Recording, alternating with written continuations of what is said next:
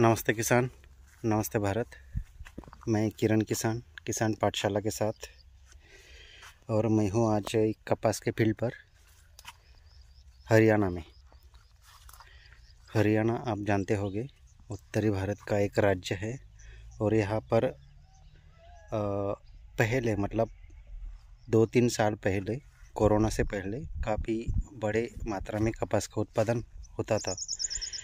लेकिन कोरोना के बाद और गुलाबी इल्ली के कारण कपास यहाँ पर बहुत कम होता जा रहा है और एक हमारे किसान मित्र है मंजित जी, जो बीएपीएस में काम करते हैं, जवान हैं, देश की सेवा कर रहे हैं और उनका ये फ़ील्ड है।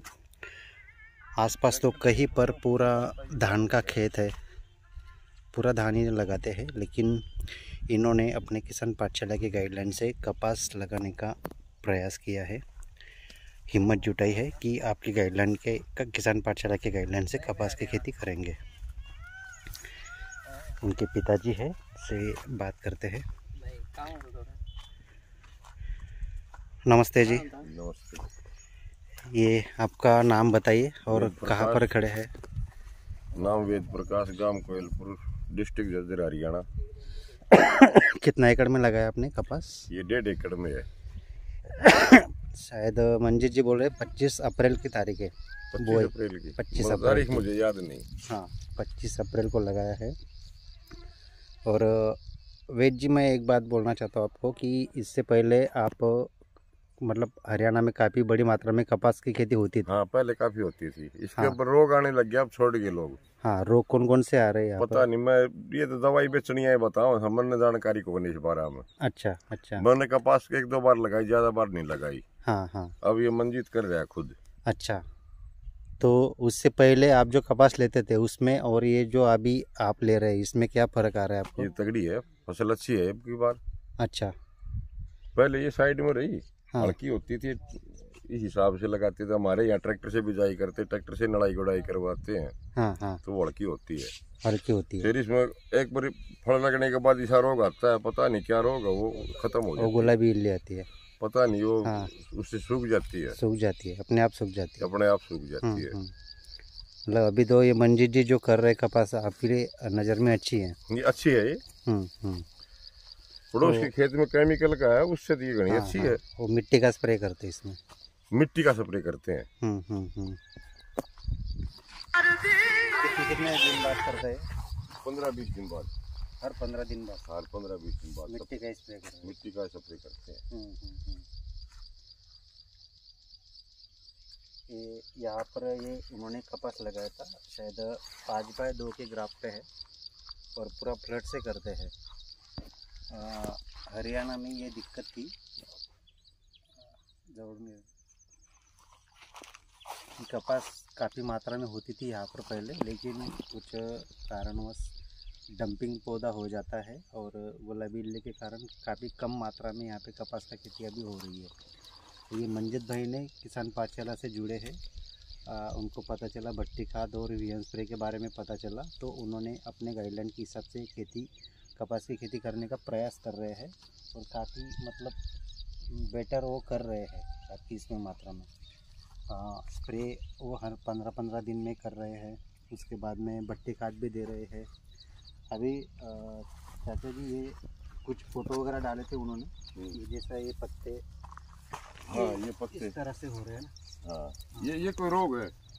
हाँ ये रोग नहीं है। इसमें क्या हो रहा है जो आप खाद वगैरह देते हैं ना हाँ, उसका डिफिशियंसी है मतलब वो खा नीचे से अच्छी तरह से उठा नहीं पा रहे हैं। अच्छा। आप खाद दे रहे हैं लेकिन थोड़ा क्या होता है यहाँ पे खाद तो प्योर दान दे रहे हैं वो ज़मीन में थोड़ी दे रहा है। हाँ नहीं वो तो स्प्रे तो कर रहे हैं हाँ। वो अलग है। हाँ। लेकिन नीचे से भी चाहिए ना उसको पेट भरने के लिए। अच्छा। हाँ। नीचे खाद नहीं है इसमें। हाँ हाँ। तो पानी वगैरह कैसे देते हैं आप? कितने कितने दिन में दे रहे इसमें? पानी तो अब तो बारिश होगी। हाँ पहले दस तो दिन में पंद्रह दिन में खुला पानी चलता था। खुला पानी चलता है। ये एक नाली और थी इसके अंदर। वो हटा दी साइड में ले ली। हम्म, हम्म। एक नाली में पानी दे दिया एक छोड़ दिया एक में पेड़ के पौधा का साथ साथ पानी दे दिया। अच्छा। ये खाली छोड़ देता था पौधा का सारा दिया। हम्म, मतलब ऑडियो देते थे। हाँ। हाँ हाँ बराबर सही कर रहे हैं। अब भी पानी दिया है एक पानी भेज देगा बीच में। हाँ। वो एक नाली पानी देगा एक छोड़ गई भी एक देगा एक छोड़ गया। नमी नमी से तैयार कर रहा है वो। ओके ओके बहुत बढ़िया कर रहे हैं। और बारिश वगैरह होती है तो बारिश तो अब तो बारिश का समय है अब हाँ, तो कोई हाँ। ज़रूरत ही नहीं पानी की ही है। है इसमें ये पोषक तत्वों के कारण ऐसे थोड़े पत्तों में कलर चेंज हो रहा है और घास ज़्यादा है तो इसमें कुछ जो कीट वगैरह होते हैं सकिंग पेस्ट उसका अटैक हो रहा है इस पे कंटिन्यू वही उपाय है कि पूरे खेत में अभी जो नीचे ऊपर ऊपर जो स्प्रे करते हैं ना हम्म। वही उनको बोलना है कि स्प्रे पूरा नीचे से करना है। सपरे नीचे तक करते हैं। पूरा नीचे पूरा पूरा नहला धो है। हाँ पूरा पूरा नहला देते हैं। पूरा नहला देता है। तो नीचे वाले जो पत्ते हैं ना हाँ, भी पूरे नीचे। पानी ज़मीन में हाँ, नीचे जाता है क्या करना है उस पे जो नोजल है आप जो स्प्रे करते हैं उसको थोड़ा उल्टा भी कर देना। क्योंकि क्या होता है कि बहुत सारे कीट पतंग है ना तो नीचे आते हैं। हम्म, हम्म। ऊपर का तो ऊपर का तो खत्म हो जाता साइड से मारते हैं। साइड से ये थोड़ा ये तो मैं देख रहा हूँ साइड से मारते हैं। साइड से ऊपर से नहीं। मारते साइड से स्प्रे करते साइड से करना चाहिए वो भी करना चाहिए। तो नीचे का भी ये थोड़ा कम हो जाएगा। अभी ये जैसा दिक्कत है हर पंद्रह पंद्रह दिन में ना तो ये दिक्कत है हम्म। तो आठ दस दिन में भी कर दे। थोड़ा मेहनत लगेगी आपको लेकिन तो बाकी तो खर्चा नहीं है। केवल मिट्टी का स्प्रे है और उसमें वो वाइसोनोमीटर डालना है आपको। केवल इतना मिट्टी तो पंद्रह दिन वाले है एक बार आकर फिर डल जाए है दो बार दोनों ड्रम हम डाल जाए है अल्टरनेट करते रहिए। हाँ। हाँ। और मैंने कुछ खाद वगैरह लिख के दी उनको वो खाद आप मिक्स कर दे उसमें वही मिट्टी मिट्टी में मिक्स कर दे नहीं वो ही करेगा आगे। हाँ हाँ। उनका ही करना है। ये केवल भट्टी का दौर मिट्टी के स्प्रे के आ, तकनीक से कपास की खेती यहाँ पर कर रहे हैं हरियाणा में। मंजीव जी देश की सेवा भी कर रहे हैं और खुद किसान भी हैं और अच्छी तरह से खेती भी कर रहे हैं। तो उनका धान भी कर रहे हैं कुछ बाजरा वो भी कर रहे हैं उस पर भी वो स्प्रे कर रहे हैं कंटिन्यू जुड़े रहे किसान पाठशाला के साथ, मैं किरण किसान और मेरे साथ में है वेद जी। धान में कोई स्प्रे नहीं की है अभी।